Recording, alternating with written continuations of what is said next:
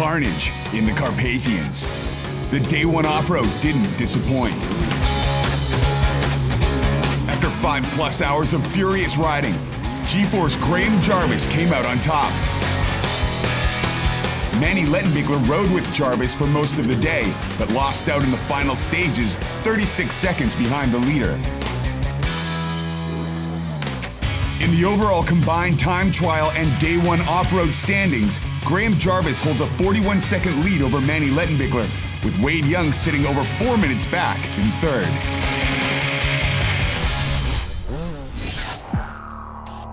Riders ready in the early morning at day two of Vertical Madness. Good morning everybody, we're here at the off-road start of day two. We're just waiting for them to arrive. But it's going to be Graham Jarvis going first today after his amazing ride. We'll see what happens today. Hopefully I can capture some of the best moments of the day um, where nobody else can get to. See what we can do.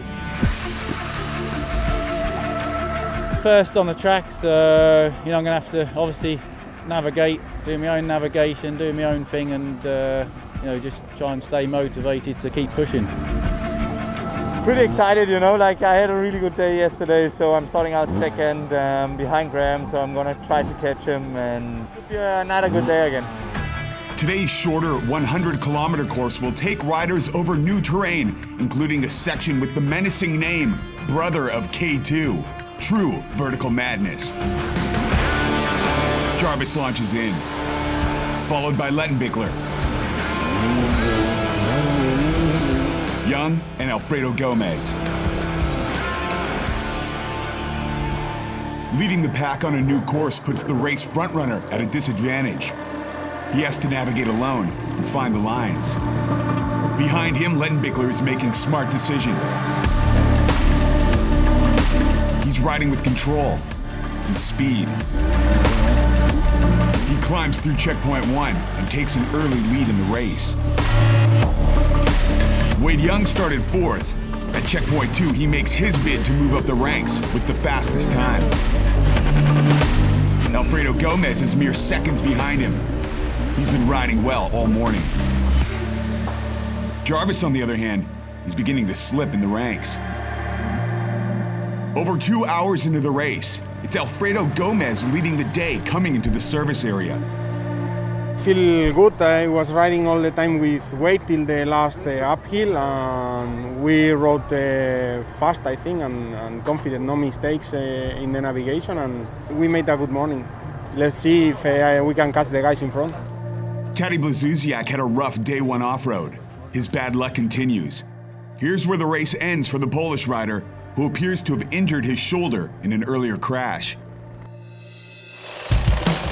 Back to the action where some riders may begin to feel exhaustion setting in. Lettenbichler is hitting his stride. At checkpoint six, he has the best time. But Wade Young and Graham Jarvis are closing in.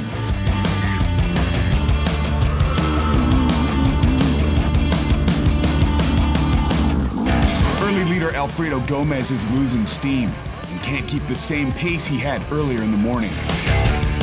Riders hit the most brutal section of the course. Brother of K2. It's punishing, especially for Billy Bolt. You know. Even with this brutal crash, he's still able to hold on to his fifth place position front, Lettenbichler and Young are now fighting for the lead.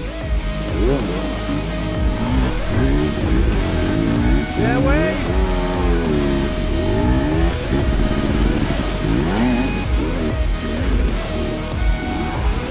But Jarvis is making a late race push. And he takes the fastest time at checkpoint 8. Is it enough to keep the overall lead? Jarvis and Lettenbichler are now side by side. Brothers in arms, pushing each other to the finish. Even though they cross the finish line together, it's Lettenbichler who will take the best time of the day. Like, it's pretty good to ride together, you know? Like, you push each other like a little bit and I think we pushed it quite hard. It was proper motocross style, so it was a really good day. Yeah.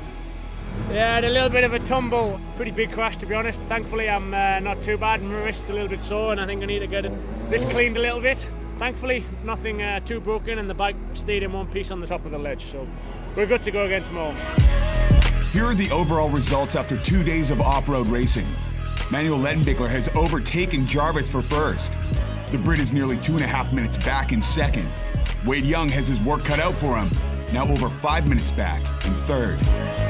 We'll bring you all the day three highlights from Red Bull Romaniacs tomorrow on Red Bull TV.